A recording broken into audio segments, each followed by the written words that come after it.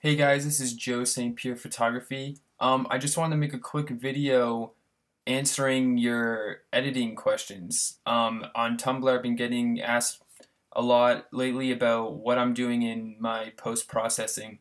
So I thought I'd just make a quick little video showing you guys what I'm doing because I really don't have any secrets. Um, I just use VSCO Film 01 for almost all my work.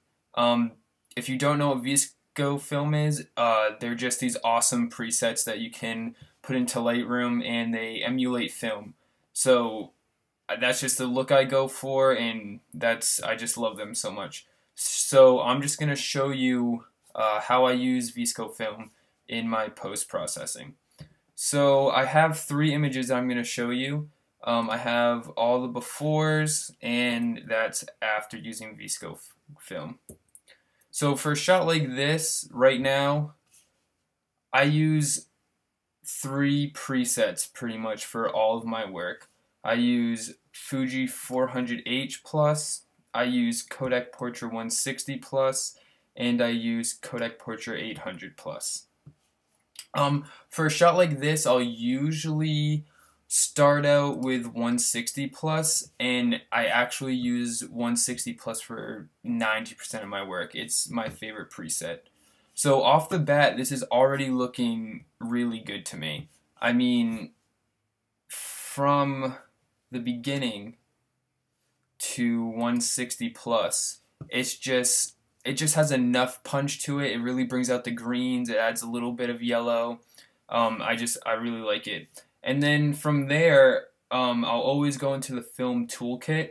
And in the film toolkit, I always use Darker Skies Plus Plus. That brought in her shirt. It brought in a little bit of the blue of the sky there. And I always use greener greens just because most of my work is outside and there's usually a lot of green around. And then I'll always use one of the fading and toning. Not, not I can't say I'll use it always, but a lot of time I'll use Kodak 2, which I use a lot in my more recent work.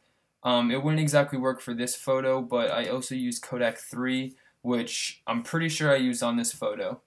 So, I mean, that's pretty much it for my editing. Um,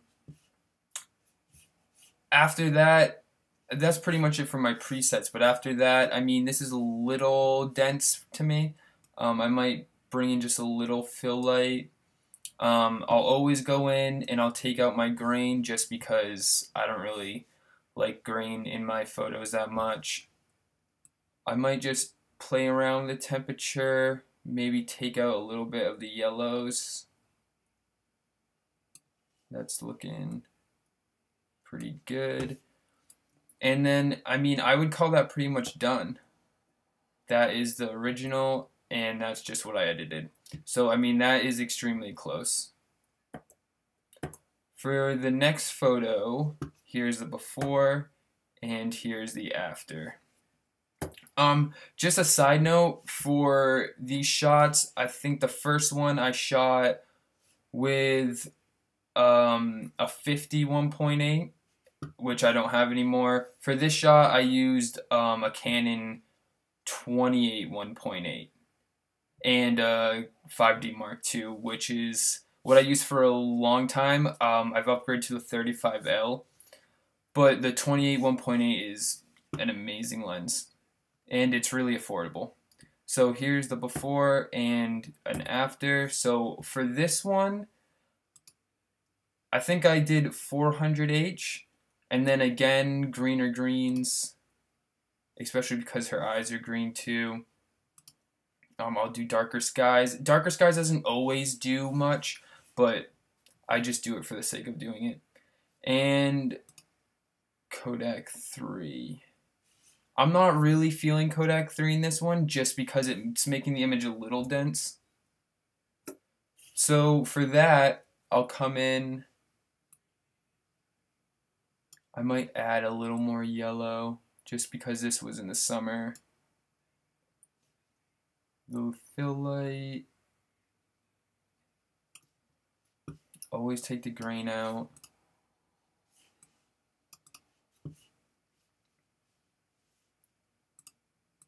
And I mean,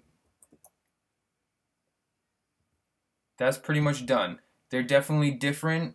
Um, I'm not sure. This one I just added a, the exposure up a little, I think. Yeah, and then I just... But yeah, that's that's all I would do for this image. I mean, that's that's done to me, and that was so quick and easy.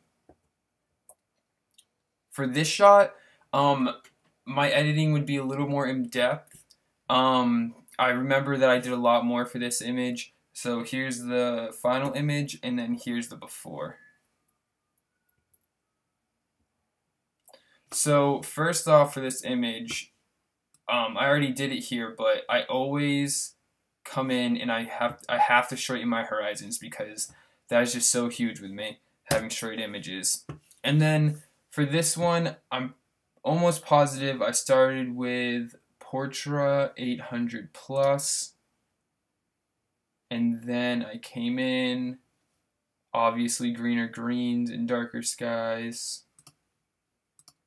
And then I definitely did Kodak 3 come down always take out my grain. For this image, I'm going to enable profile corrections for the lens, which is just, if you look down here, it's going to take away that vignette. And it's going to just make the shadows more visible. Um, also for this one, um, I'm not sure how many of you have this problem. You, If you're used to Lightroom, you might already know about this tool, and if you're not, like me, because I'm just not an editing person. I just it took me forever to get what I wanted. But usually not in this shot I couldn't because of all the shrubbery right here, but usually um I'll have my subject and the horizon pretty close to each other about right here would be the horizon if my subject was there if this wasn't here and I say that because when you're shooting at 2.8 or 1.8 you're sky is going to get blown out. Mine always gets blown out because I don't usually shoot lower than that. And for the longest time, I could not figure out how to get my skies back. But I figured out this tool, and if you lower the exposure, you have your brush. I usually have about a decent amount of feather on it, and you can literally just come in and brush your skies back in.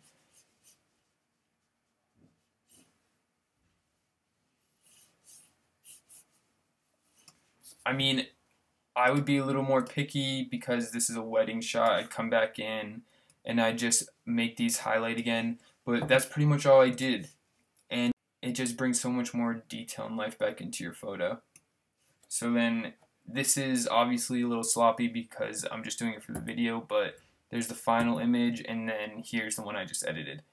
Um, and that's pretty much it for my editing. There's no big secrets. I'm just using VSCO Film uh, 01, which you can go and buy right now for 15% off. They're having a sale, I think, until tomorrow. Um, and yeah, that's it. Um, if you guys like these type of videos, I'd love to do more for you. If you have any questions for me on portrait work or lifestyle work or even wedding work, I haven't done much of it, but uh, I do shoot weddings, so yeah, if you guys have any questions, I would love to make videos for you guys and help you out. Um, so that's it for now. I hope you enjoyed. Um, I'll have all these images before and after on my blog, and that's it. Have a good one.